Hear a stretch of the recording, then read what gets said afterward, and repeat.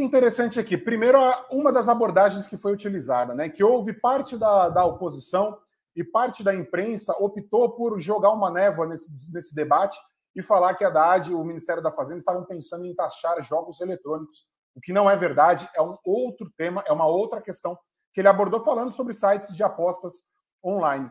E para minha surpresa, a gente fez uma análise aqui em comentários, reações a esse tema, a essa proposta no Facebook e no Twitter. E a gente vai ver que 44% dos, das menções, dos comentários sobre esse tema, foram defendendo essa ideia, defendendo essa proposta.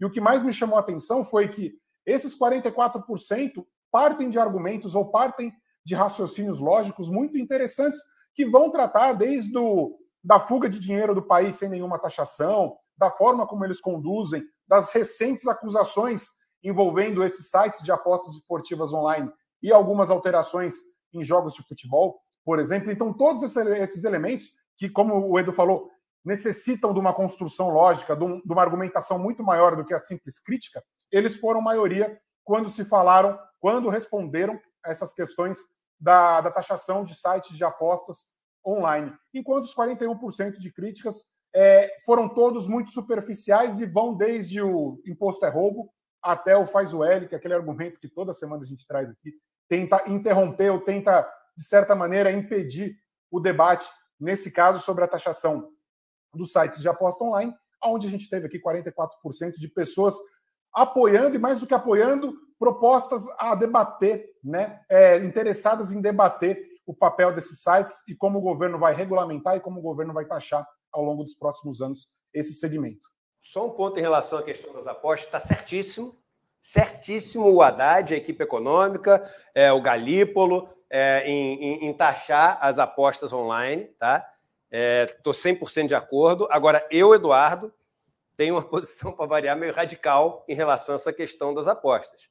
Eu acho que tinha que ser proibido. Primeiro, porque esse negócio não é permitido pela nossa legislação, é, é uma zona cinzenta. É. Eles, o Temer colocou uma zona cinzenta de propósito. Antes era proibido. Aí o Temer colocou um negócio lá que não é nem sim nem não, não é nem sim nem não, jogo de mafioso, porque é jogo de mafioso.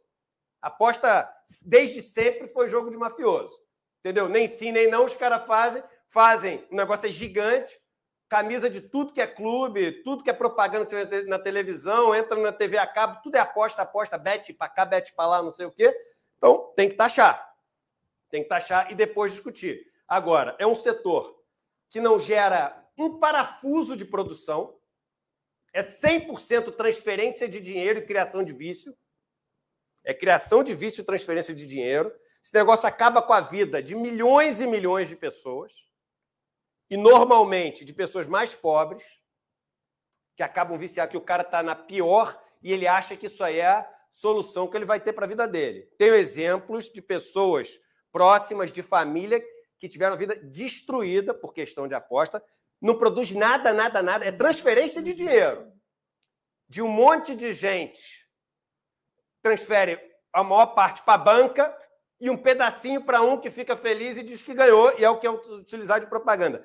E tem outro efeito, tu que é um cara que gosta de esporte, você que é uma pessoa que gosta de esporte também, que é o seguinte: isso aqui vai destruir o esporte.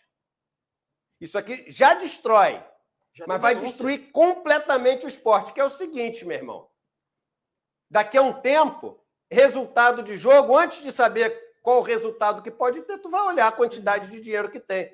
Porque qual o, o, o esporte que consegue manter um resultado limpo quando o cara olha antes e vê que tem um bilhão para um lado, um bilhão para o outro?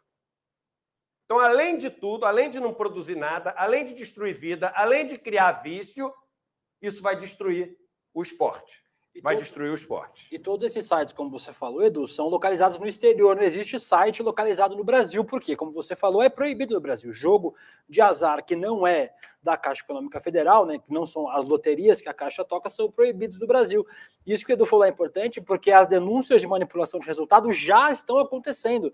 Então, a gente já tem em, ou, em vários campeonatos de segunda divisão, até da quarta divisão do Campeonato Brasileiro, a gente não teve nenhuma denúncia desse tipo ainda na Série A do Campeonato Brasileiro, na Série B, mas de manipulação de resultado. E aí, Edu, essas apostas, né, eu, eu, eu já li muito sobre elas, não é só quem ganha e quem perde É tipo, fulano fez gol antes dos 20 minutos, fulano tomou gol. Coisa, é e aí isso faz com que o cara não precise nem entregar o jogo, ele só entrega esse, esse pedaço da aposta que ele precisa entregar, e aí a aposta acontece. Já tem denúncia de jogador que recebeu recursos por conta de ter participado desses esquemas de aposta, então isso já está acontecendo, mesmo sem ser legal no Brasil.